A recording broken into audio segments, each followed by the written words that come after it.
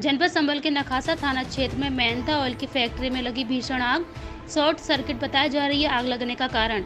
जनपद संबल के नखासा थाना क्षेत्र कुरकाबली में मेहनता फैक्ट्री में लगी भीषण आग। मौके पर पहुंचकर दमकल विभाग के कर्मी आग पर काबू पाने में लगे। मौके पर पुलिस क्षेत्र अधिकारी के के सरोज भी आग बुझाने में लगे। काफ़ी घंटों के बाद पाया जा सका आग पर काबू। आग में मेहनता के कई ड्रमों के जलने की संभावना, आग से करोड़ों के माल को नुकसान। आग बुझाने में अन्य जिलों से भी बुलाई गई दमकल की गाड़ियाँ। जी वैसे आग लगी है फैक्ट्री में। क्या है, किस तरीके से? ये करीमी एरोमा के नाम से फैक्ट्री है। हसनपुर में और ढाई पौने तीन हज़ार हमें सूचना प्राप्त हुई फैक्ट्री में आग लगी। तो संबंधी गाड़ी चंदोसी गुलमोड़ी गाड़ी बुलाई गई फिर पता लगा आग ज़्यादा भाग तेज है। तो एक गाड़ी मुरादाबाद मुरादाबाद से बिलाड़ी से और अमरोहा से हसनपुर से गाड़ी पाँच गाड़ियाँ मौके पर काम कर रही हैं।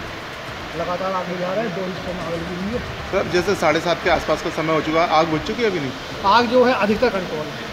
कंट्रोल है क्योंकि इसके अंदर तेल है वो पानी से हल्का है वो ऊपर आ रहा है। थोड़ी फाइटिंग में प्रॉब्लम आ रही है लेकिन नब्बे पचानवे परसेंट आग कंट्रोल कितने कर्मचारी लगभग इसमें लगे? इसमें जो है इस समय तो बताना संभव नहीं लेकिन जो है संभल चंदोसी गुन्नौर और जो है मुरादाबाद और अमरोहा की यूनिटें लगी हुई हैं।